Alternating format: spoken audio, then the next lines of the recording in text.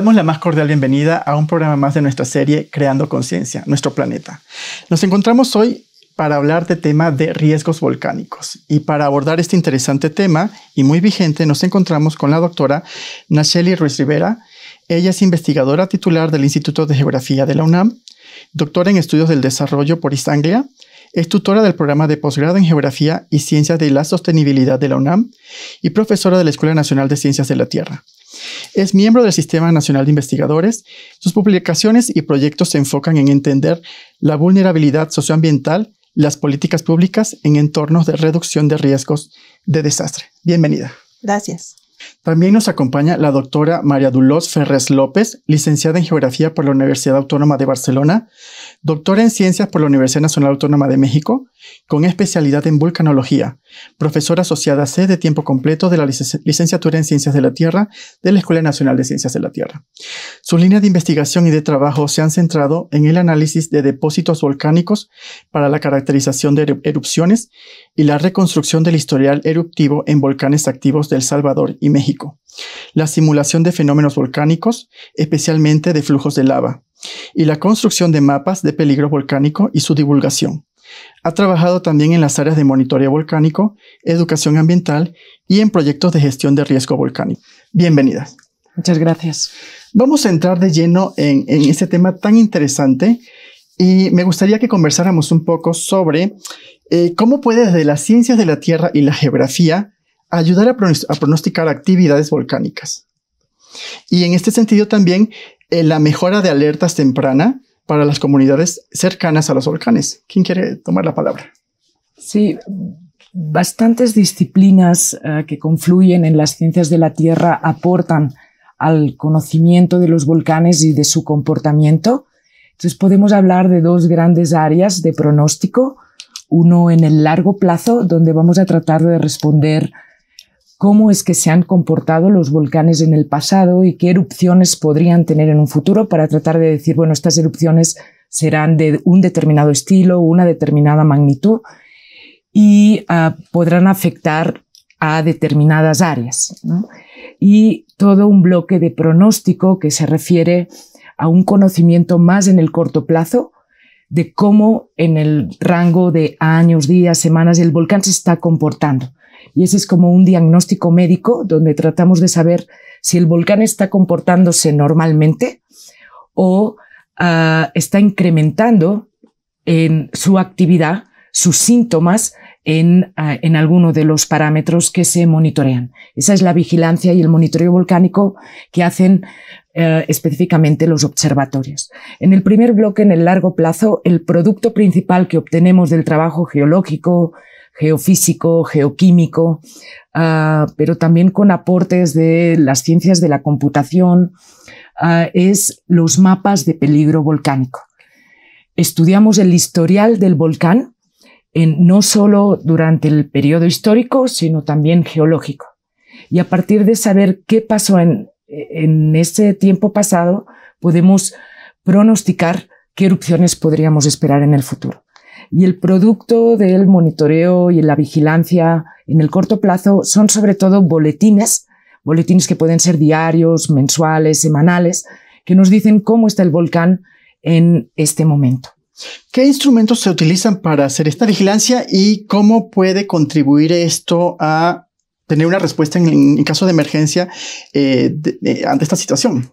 Son varios los parámetros que se monitorean. Cuando, cuando un magma está en ascenso dentro de la corteza y llega a zonas superficiales, ah, antes de hacer erupción, va a producir cambios en las vibraciones en el terreno, va a haber cambios en la cantidad de gases que se emiten primero que el magma, pueden incluso ocasionar que el propio volcán tenga diferencias de, ah, en, su topografía, se hinche o se deshinche, y puede haber cambios también en la temperatura de grietas y del cráter.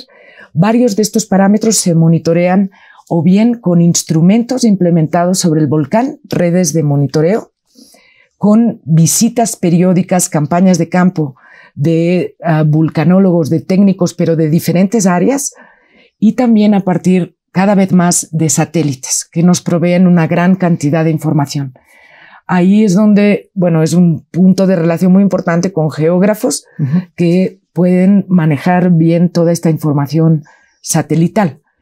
Ah, toda esta información se junta y se correlaciona para poder decir si el volcán está en su línea base o tiene algún cambio.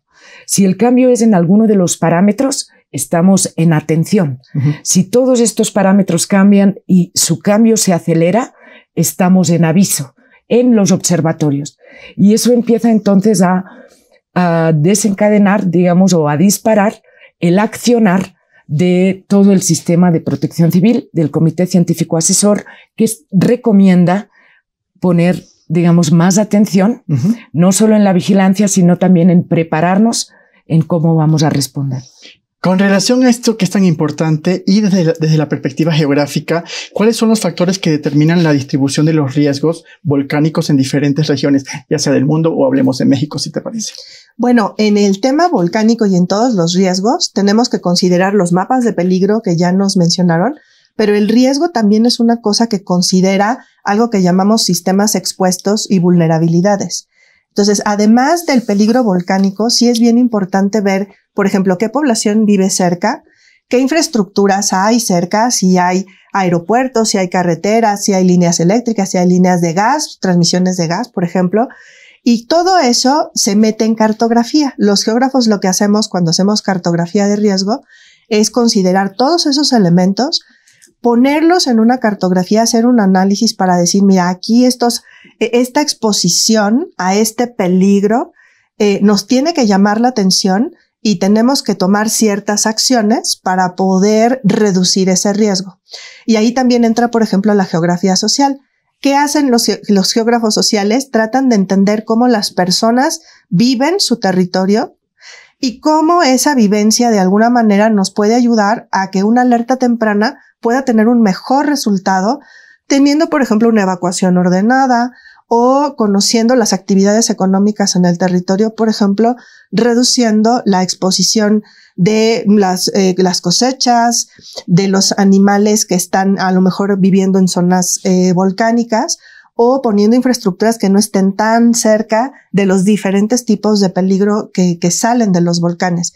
Todo eso lo ponemos en mapas y eso es lo que se pone también a disposición de los comités científicos y de, digamos, los comités técnicos que están a cargo de las alertas para que puedan dar los avisos correspondientes y diseñar las actividades que se tengan que hacer. En este sentido, desde la geografía y desde las ciencias de la Tierra, ¿cómo hay esta conversión o este, esta confluencia, de, las ciencias para atender esta problemática? En, la vulcanología y en el conocimiento de la actividad volcánica ah, están involucrados o participan gran cantidad de especialistas que ven adentro de la Tierra, eh, ven el subsuelo, geofísicos, geoquímicos ah, y, y muchos otros, geólogos por descontado.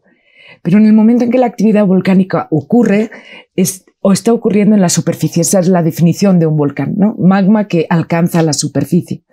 Entonces ahí eh, están ocurriendo, la actividad volcánica se desarrolla eh, en diferentes formas, impacta de diferentes maneras según como los productos volcánicos acaben alcanzando el terreno, pero en esa superficie ese vulcanismo convive ¿sí? con, ah, con sistemas sociales, con infraestructura y con la dinámica de otros fenómenos, como los meteorológicos o los hidrológicos.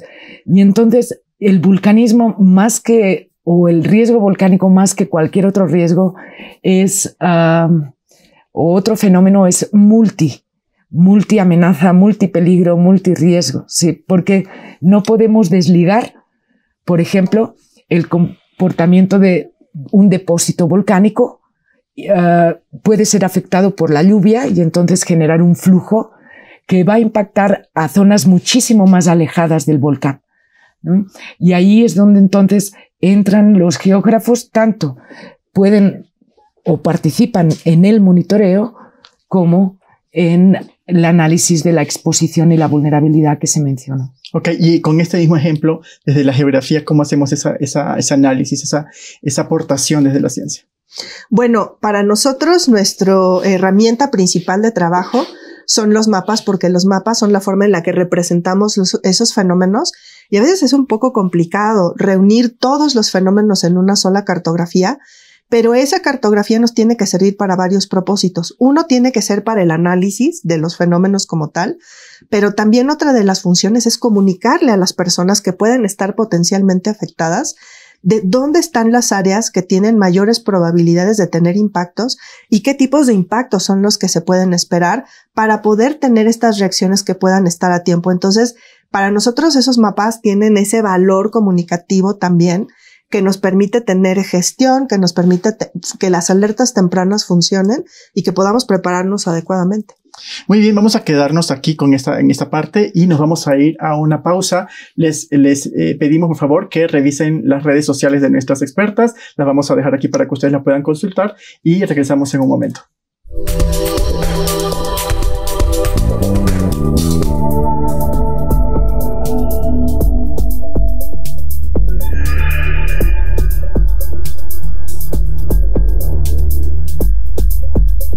Regresamos a ese interesante tema y ahora nos gustaría saber eh, cómo se utilizan los modelos informáticos desde las ciencias de la Tierra y la geografía para simular y predecir el comportamiento de las erupciones volcánicas y cómo influyen en las respuestas de emergencia. ¿Qué nos pueden decir al respecto? Sí, se han desarrollado ah, diversos ah, códigos computacionales para reproducir los fenómenos volcánicos. Cuando ocurre una erupción, ocurre en, de forma concatenada o simultánea diversos fenómenos. Por ejemplo, la lava puede ser fragmentada y se genera una columna eruptiva que va a ser dispersada por los vientos o esa ceniza con ese gas puede colapsar y entonces generar una corriente de densidad piroclástica y varios otros. Para cada uno de estos fenómenos se han desarrollado diversos códigos computacionales y continuamente se están creando nuevos para tratar de reproducir de la menor, mejor manera posible la física del fenómeno. Lo que es muy importante es que esa es una herramienta para tratar de reproducir un fenómeno que ocurrió en la realidad. Es muy importante alimentar esos códigos computacionales con datos de la realidad. Y eso entonces requiere que hayamos hecho trabajos geológicos de estudio de los depósitos volcánicos antiguos, de reconstrucción del historial eruptivo y de conseguir los parámetros que describen esas erupciones pasadas y las que proponemos o pensamos que pueden ocurrir en el futuro. El código después nos da la extensión de la afectación o de, de las zonas que pueden ser impactadas.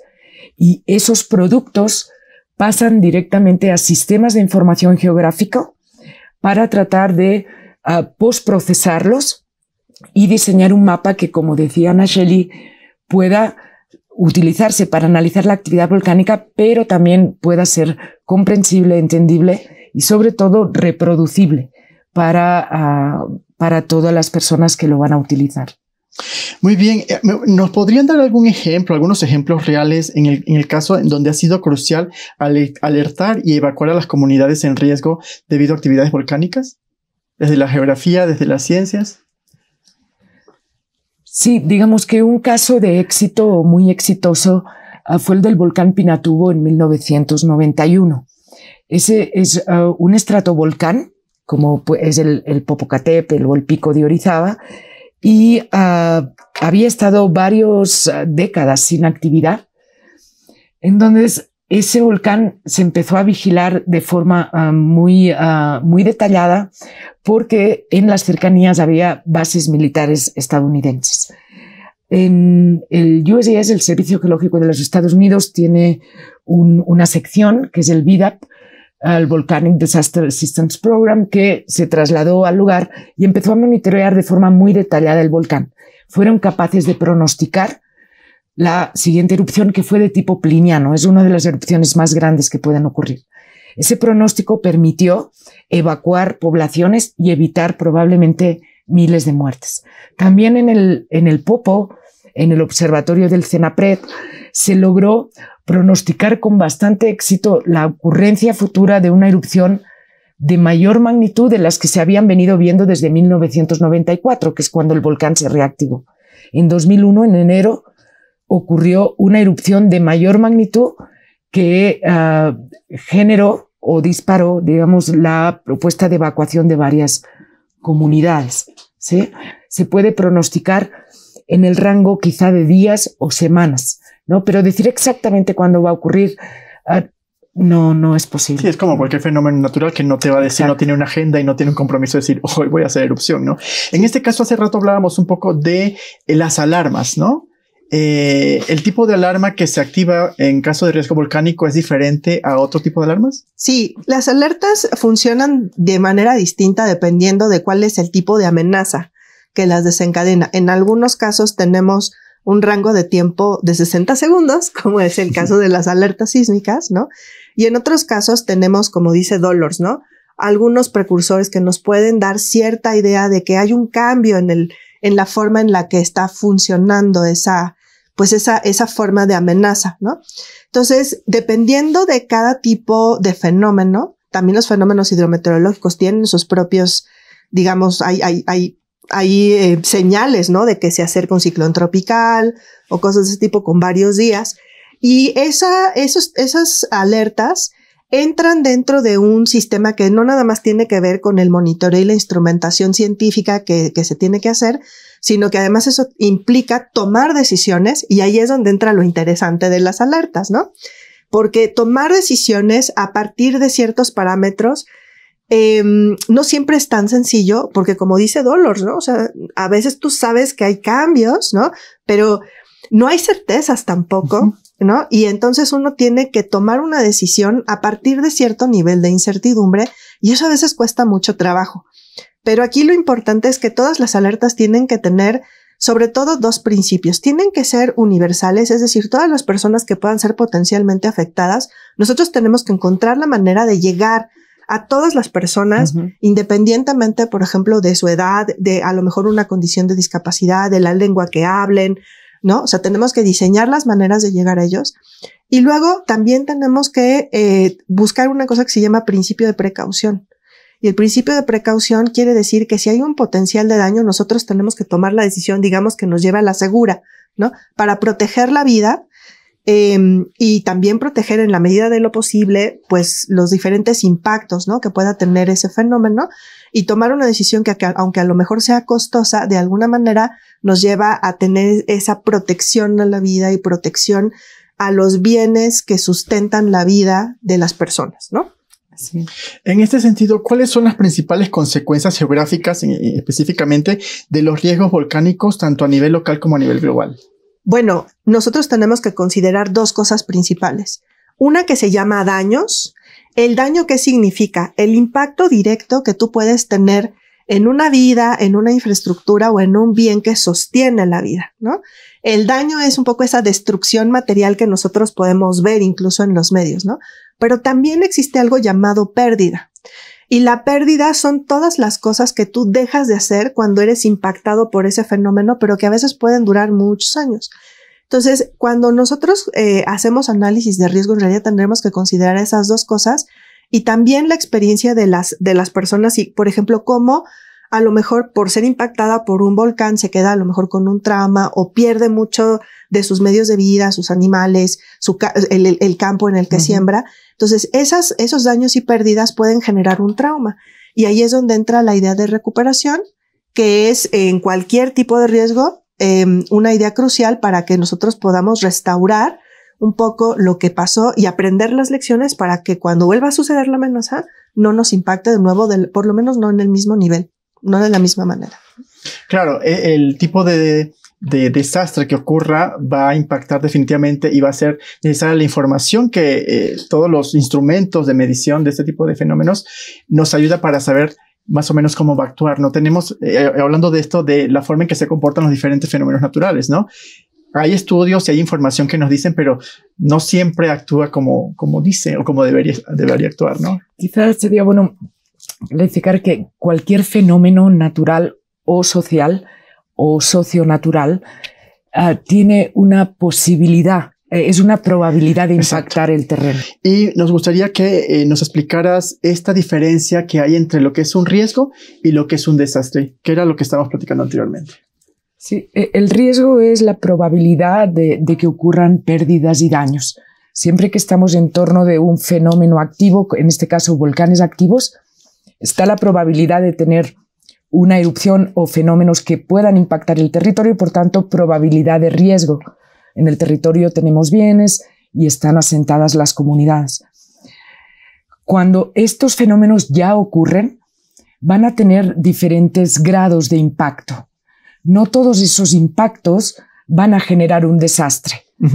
Los impactos todos generarán algún tipo de emergencia, incluso la podemos denominar una crisis, van a requerir de un nivel de respuesta.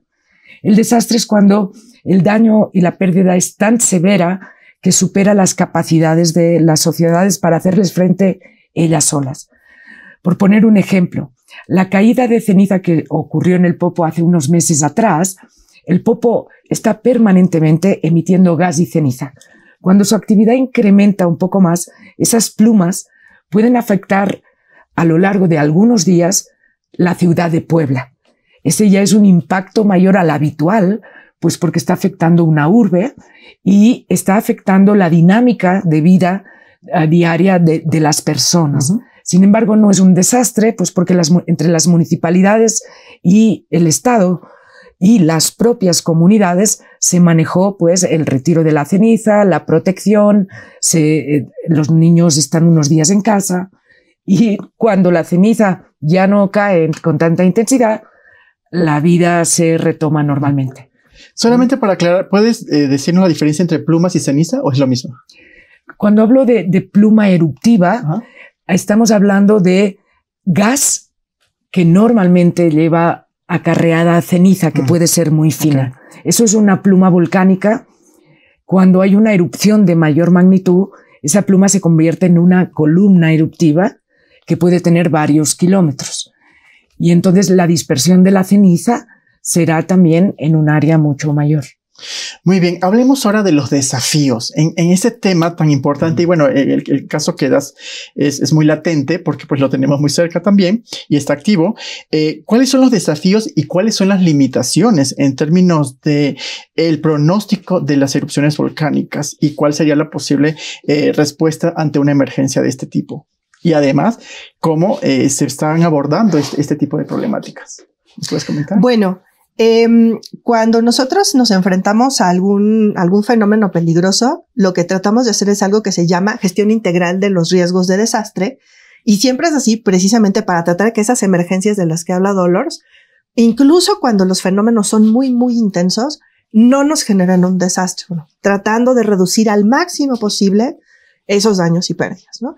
Eso implica muchas cosas, que son muchos retos de los que tú nos, preguntas. El primero, por supuesto, es que las áreas de la ciencia necesitan el financiamiento para poder hacer la instrumentación eh, de los, pues en, la tierra, ¿no? tomar los datos, tener las imágenes de los satélites, tener personal especializado que pueda entender cuáles son estos fenómenos geológicos. Bueno, luego después de eso, eh, tener algunos criterios que nos permitan a partir de todas las enseñanzas que nos, ya nos han dejado los fenómenos a lo largo de la historia geológica, tener ciertos parámetros que nos permitan decir en este umbral, en realidad ya estamos como en un, en un momento en el que tenemos un problema, ¿no?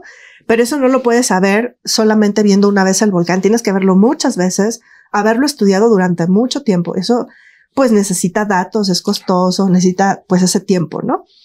Y luego de allí tenemos todo el reto de decir cuándo hay que tomar una decisión. Y para eso es cuando, cuando salen los atlas de riesgo, ¿no? En, en principio, un atlas de riesgos es un instrumento donde hay muchos mapas, donde están, por supuesto, los mapas de peligro, pero después de eso hay mapas de vulnerabilidad social, hay mapas de exposición y hay mapas de una fase de la gestión de riesgos donde decimos nosotros, aquí vamos a reaccionar y luego cómo vamos a recuperar. Y por ejemplo, en los mapas que tienen que ver con la reacción, tenemos que ver cuáles son las rutas de evacuación, tenemos que ver dónde están los albergues, tenemos que ver en dónde están, por ejemplo, estas zonas, como las zonas volcánicas tienen suelos muy ricos precisamente por la actividad volcánica, suele haber mucha actividad agrícola, suele haber mucha actividad pecuaria. Entonces, por ejemplo, cómo se distribuyen pues los animales, ¿no? las cosechas. Y luego eso, cómo impacta en la capacidad que tienen las personas de hacer estas evacuaciones en situaciones de emergencia que literalmente son las que les salvan la vida, ¿no? Entonces tenemos que estudiar ese fenómeno ahora sí que combinando todo lo, lo, que tiene que ver con la geología y la geofísica, todas las ciencias de la Tierra y luego ya toda la parte social y eso plasmarlo en un mapa. Y eso, la verdad es que es bien difícil de lograr. Eso es uno de los grandes retos que tenemos que hacer porque es muy difícil. Eh, tienes que hacer mucho trabajo de campo y luego también no es tan fácil poner en el mismo plano un fenómeno peligroso que un fenómeno social. Eso requiere también pues mucho trabajo de la ciencia y luego a eso súmale el siguiente reto que es pasar eso al ámbito de lo político y de, digamos, de lo administrativo, que es realmente donde se toman las decisiones, por ejemplo, de hacer una evacuación y de sostener los albergues y de hacer, enfrentar todo este reto logístico que implica la respuesta y luego la recuperación, ¿no? Sí, muy interesante y es un trabajo que es eh, de equipo, ¿no? No lo puede hacer una sola persona, ¿no? Incluso la parte de la gestión, cómo se destinan los recursos para que se desarrollen todas esas políticas, ¿no? Así es.